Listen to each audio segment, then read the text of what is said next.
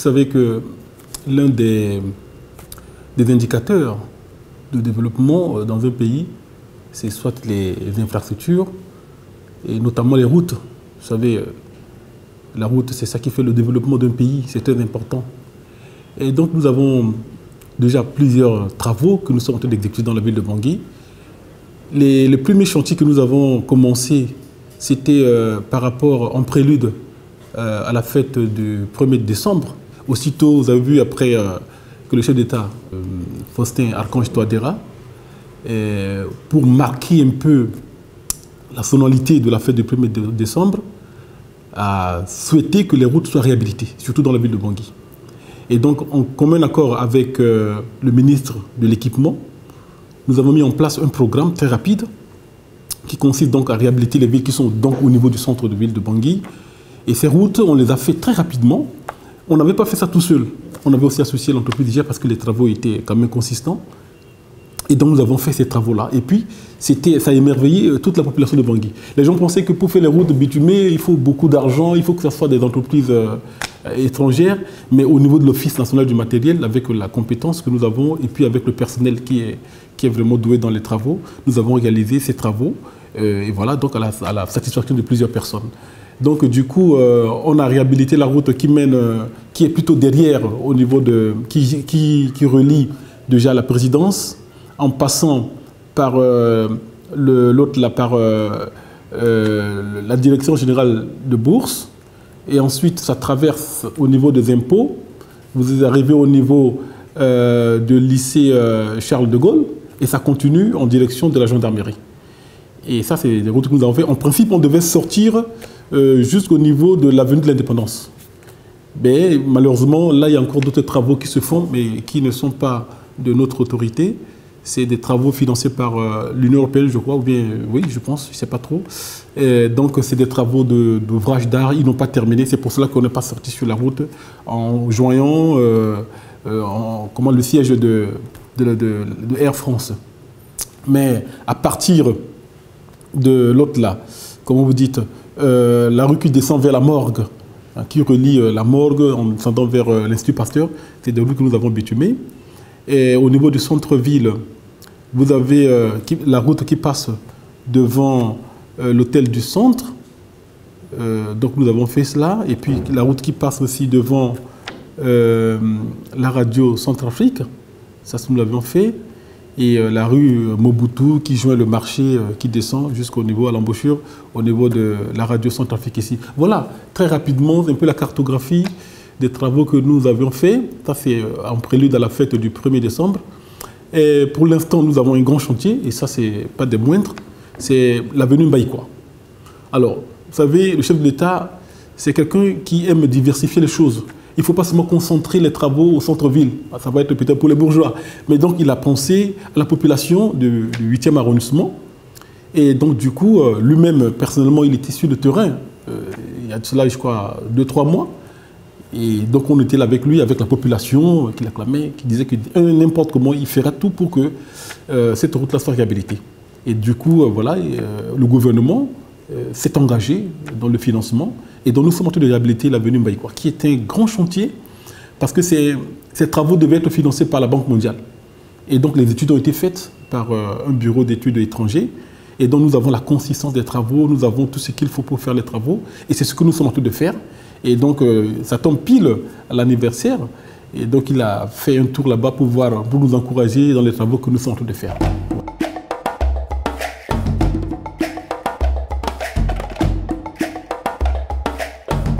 D'accord. L'Office national du matériel, c'est un office public euh, qui a une autonomie de gestion administrative financière, mais qui est administré par euh, un conseil d'administration et dirigé par un directeur général.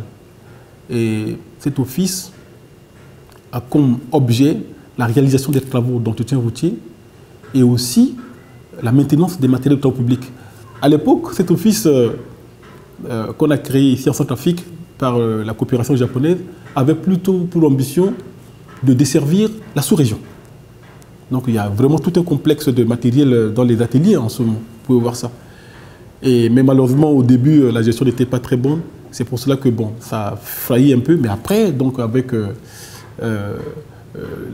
les assistants techniques et puis l'appui de l'Union européenne, on a remis les choses sur les rails. Aujourd'hui, nous sommes en train de, de, C'est un instrument à la disposition du gouvernement.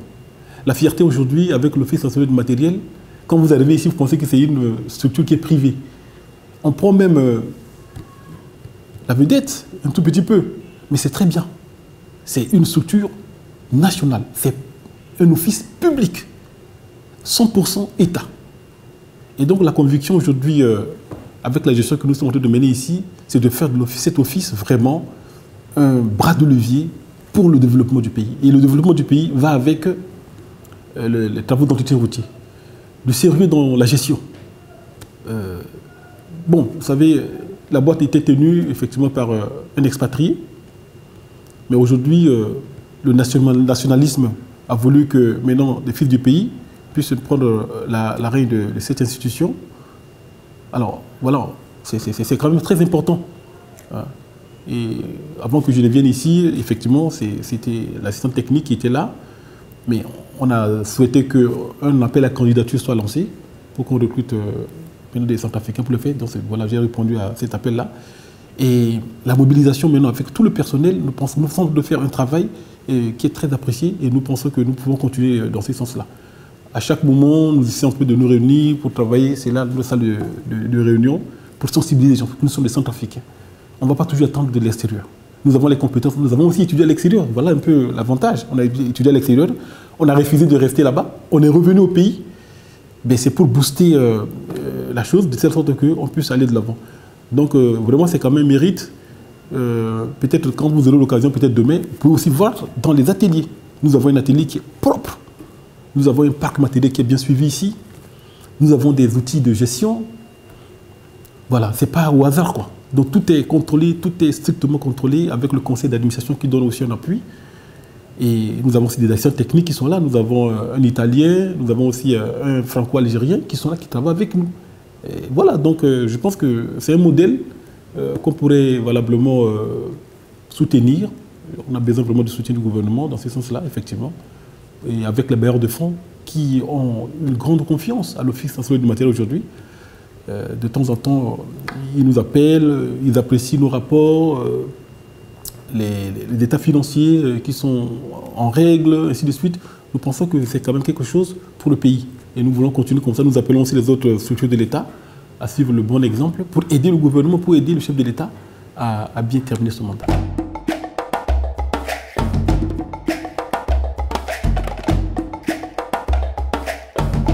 Bon, mais je pense qu'il y, a effectivement, en effet, il y a la coordination qui doit suivre. C'est au niveau du ministère de l'équipement. Euh, c'est eux qui coordonnent. Nous, on n'est qu'une entité euh, d'exécution. Donc, euh, on reçoit un programme de travaux pour tel, tel, tel tronçon et on se met à exécuter ça. Mais, ma foi, c'est le ministère de l'équipement qui, coordonne tous ces travaux.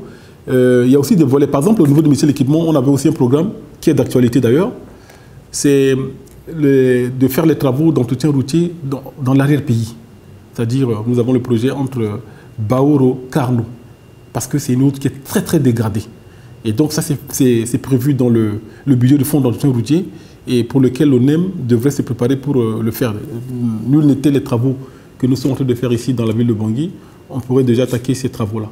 Donc euh, je pense que la coordination des travaux, c'est au niveau du ministère de l'équipement.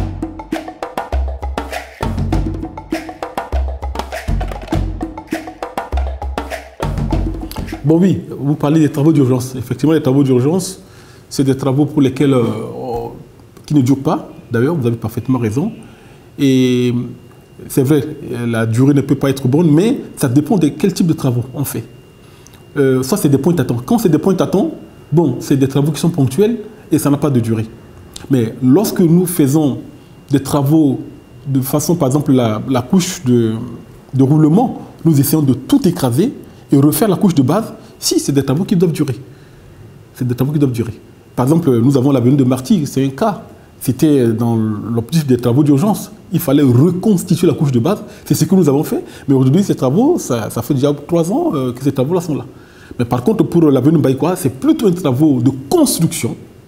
c'est des travaux vraiment de construction qui va plutôt durer par rapport aux autres parce que nous avons aussi l'espace libre pour travailler.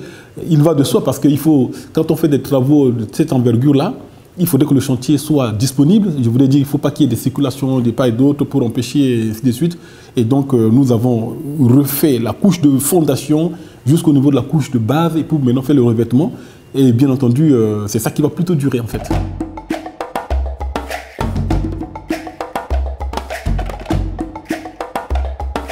Vous savez, pour la première fois, et ça c'est mieux de le dire, c'est un élément très important que je vous demanderai de noter, euh, à l'ONEM, on avait juste un budget de 2 milliards euh, en moyenne par an. Mais là, du coup, euh, à cette année, avec les efforts fournis par le chef de l'État et le gouvernement, on a atteint 4 milliards.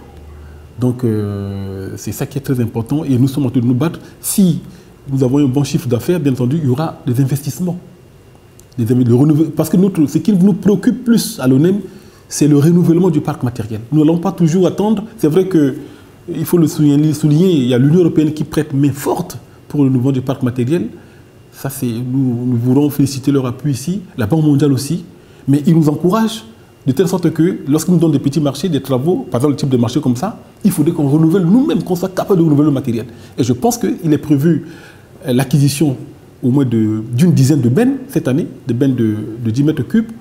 Nous avons prévu aussi l'acquisition euh, de quelques enjeux de terrassement nous avons aussi prévu l'acquisition d'une bouille. Nous avons aussi prévu, euh, déjà, on est un peu ambitieux pour avoir une centrale d'enrobé. Voyez-vous? Donc c'est ça qui fait cela. Et effectivement, euh, la main-d'œuvre suit. La main-d'œuvre suit, parce que quand il y a des travaux, il faut vraiment une, faut recruter la main-d'œuvre. Et donc nous avons recruté euh, plusieurs manœuvres et techniciens qui sont avec nous. Et là, on vient d'ouvrir aussi un appel à candidature pour le recrutement des mécaniciens, puisqu'on commence à avoir un parc nécessaire, assez important. Donc, du coup, euh, on vient de lancer un appel à candidature. On, va, on a recruté huit mécaniciens qui resteront dans les ateliers. On va compléter pour en avoir aussi euh, deux pour que ça, fasse au moins dix euh, mécaniciens. Et voilà. Et donc, voilà, je pense qu'il y a apport à ce niveau-là, la main-d'œuvre, le renouvellement du parc, les investissements. et voilà, je pense que oui, il y a une valeur ajoutée à ce niveau-là.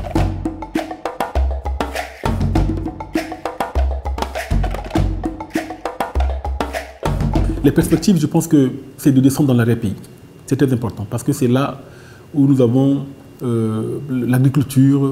Il faudrait que les gens qui sont dans l'arrière-pays puissent euh, se, permettre d'acheminer les, les, produits en ville. Et donc nous pensons que nous avons une vaste euh, campagne qui va donc se déclencher dans l'arrière-pays, en fait. C'est très important. Bon, nul n'était la situation d'insécurité euh, dans le pays, on, y serait Je pense que par la grâce de Dieu, avec euh, le retour euh, de, la paix dans le pays, bien sûr, on va vraiment se, se, mouvoir dans l'arrêt pays pour faire plusieurs travaux. Merci beaucoup. Je vous remercie.